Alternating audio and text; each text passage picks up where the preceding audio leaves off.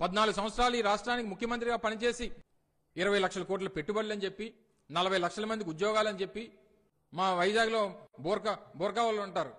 ఈ నేపాల్ నుంచి వచ్చిన వాళ్ళు. వాళ్ళందరికీ సూటు బోటు వేసి నువ్వు ఎంఓఎల్ చేసుకుంటే ఎవరు తీసుకొచ్చి పెడతాడు పెట్టుబడులు?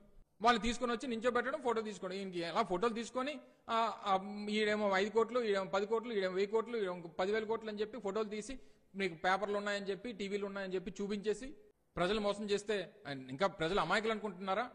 మిమ్మల్ని ఎక్కడో చూసినట్టుందండి. అంటే యువత అంతా కూడా చంద్రబాబు నాయుడు గారు చేస్తున్నటువంటి కార్యక్రమాలపైన ఆయన పంతొమ్మిది వందల తొంభై ఐదు నుంచి రెండు వేల నాలుగులో తీసుకున్నటువంటి కార్యక్రమాలన్నీ కూడా ఈరోజు సత్ఫలితాలను ఇస్తూ ఉన్నాయి.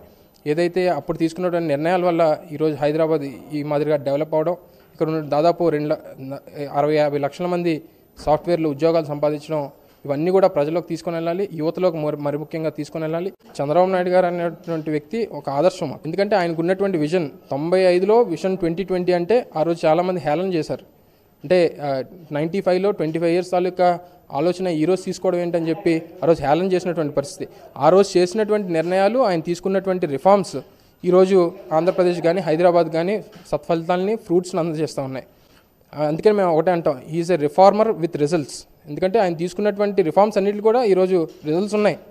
సో ఇప్పుడు ఈరోజు ఉన్నటువంటి కాంగ్రెస్ పార్టీ కానీ లేకపోతే రానున్నటువంటి జగన్ పార్టీ కానీ వాళ్ళ తాలూకా ఆలోచనలో ఏ ఒక్కరు ఏ ఒక్కరికి విజన్ లేదు.